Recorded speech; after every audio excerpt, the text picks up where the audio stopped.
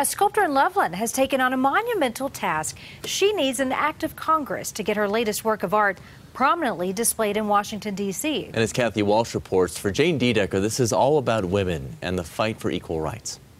Just honoring these women and um, using my craft to honor them. That's what this sculpture is all about. The six women are the forces behind women's suffrage and women's rights. Among them, Susan B. Anthony and Ida B. Wells. There are trailblazers on the bottom tier who envisioned the right to vote but never had the opportunity. And the next generation above. On the shoulders of giants, rising from their wisdom. You hear the passion for her project in Jane DeDecker's description.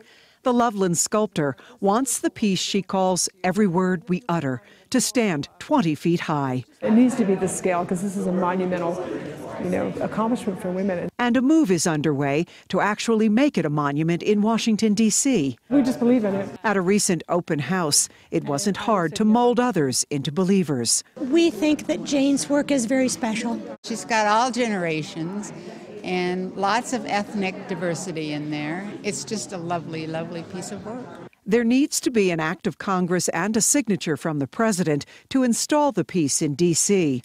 Colorado Representative Joe Neguse has introduced a bill in the House.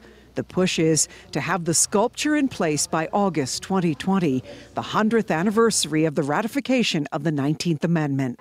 The hope is the piece will be in a prominent place, inspiring women to continue the push for equality. I'm Kathy Walsh covering Colorado First.